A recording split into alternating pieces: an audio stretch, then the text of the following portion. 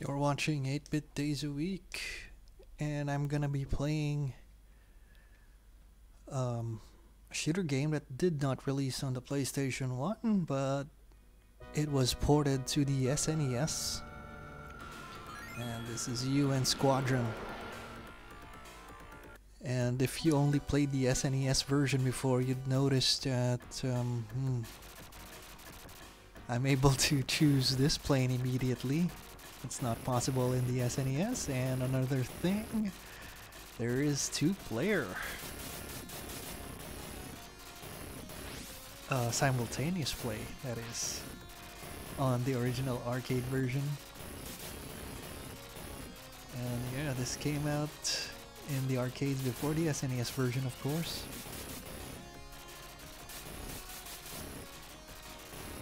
And another difference is that stages are actually fixed, unlike the SNES where you can actually get to choose which to attack first. And yeah, you can also see, the stages were shorter. But it's the same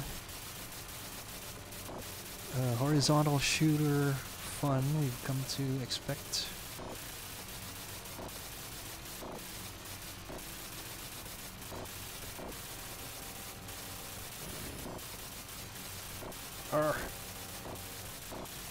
Oh, come on. Can't die now.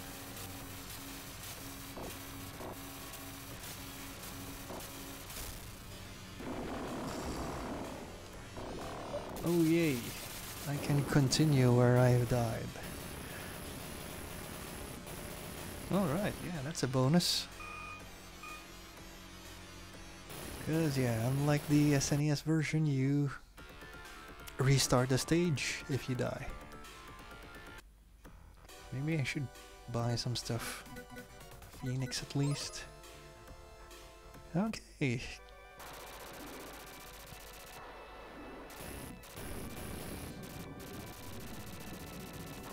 So yeah, as I mentioned, uh, this was not released on the PlayStation 1, not even on the Capcom collections thing that they did.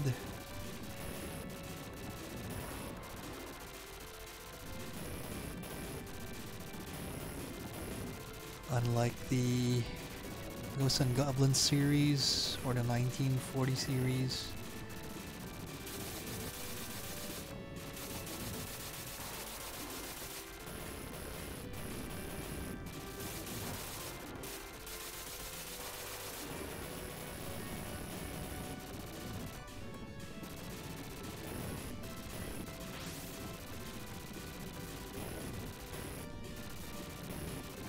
I'm just wasting my Phoenix missiles.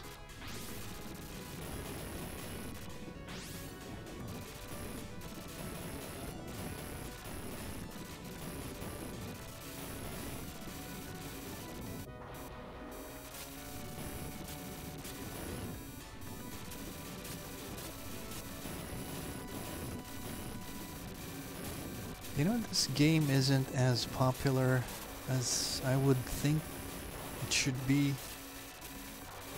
Um, I definitely recommend it.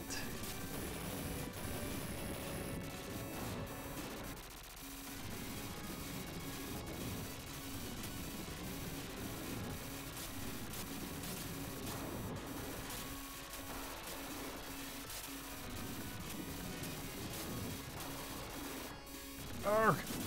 And uh, yeah, shooter fans probably know this one. And um, I say it's really, I think it's uh, worth to have it on your uh, USB drive for your PlayStation Classic.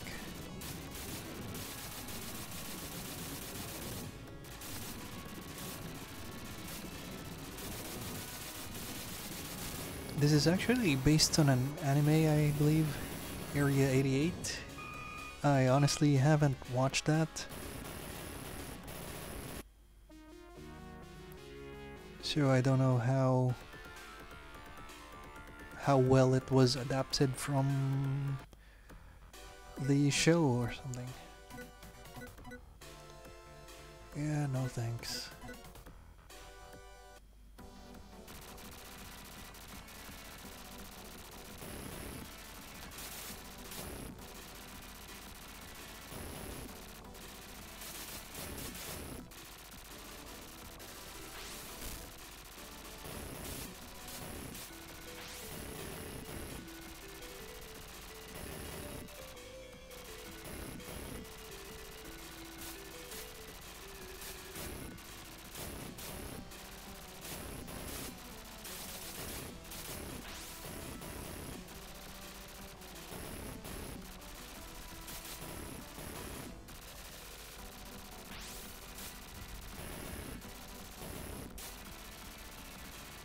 So performance is good.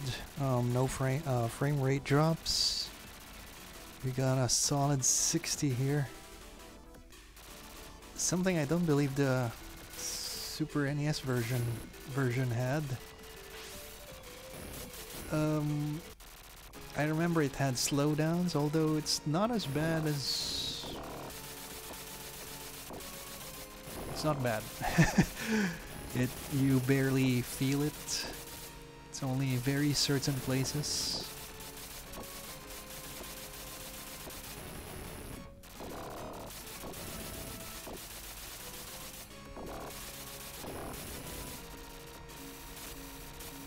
So you almost think there wasn't any slowdowns in this game on the Super NES.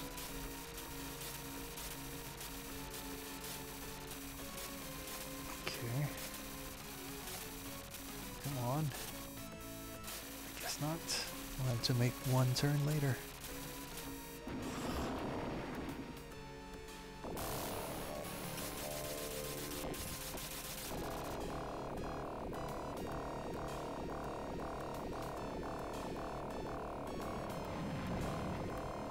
So yeah, I normally use Greg because he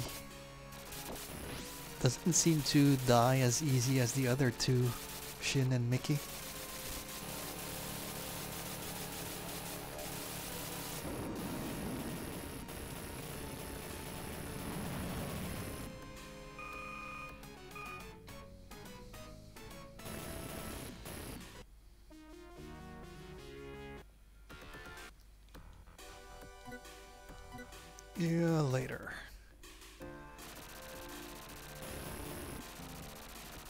Should have grabbed at least something.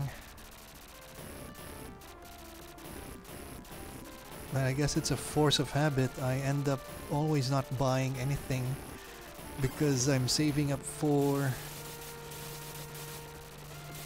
like uh, the best plane, the Ifrit.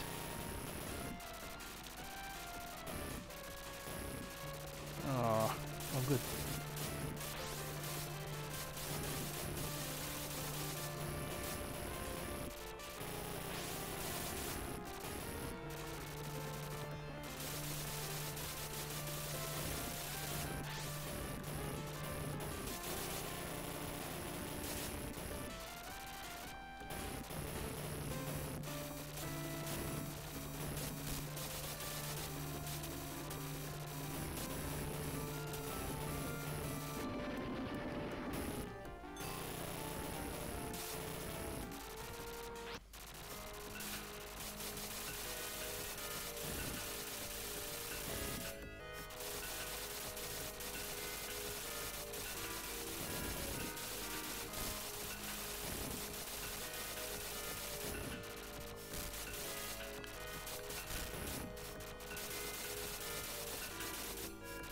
It's kind of weird having this plane early in the game.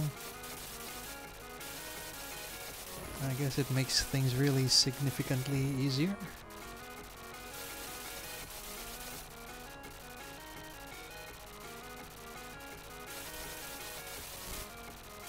More or less. Oh, I have an napalm. Alright, let's go!